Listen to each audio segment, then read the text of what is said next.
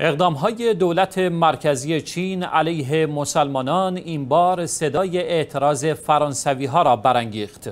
معترضان فرانسوی در پاریس گرد هم آمدند تا به مصرف کالاهای چینی تولید شده در استان مسلمان نشین این کشور اعتراض کنند. همکارم مصطفی فروغی گزارش می دهد.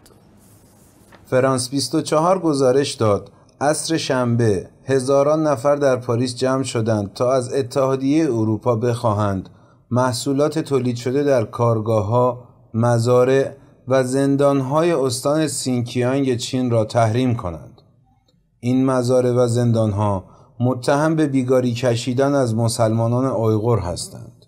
چین از سوی سازمانها و نهادهای حقوق بشری به زندانی کردن یک میلیون مسلمان آیغور به بحانه های امنیتی است. در این زندان ها انواع شکنجه ها روی زنان و مردان مسلمان صورت می گیرد چین از سوی دیگر متهم است به بهانه جلوگیری از تبدیل شدن سینکیانگ به سوریه دوم.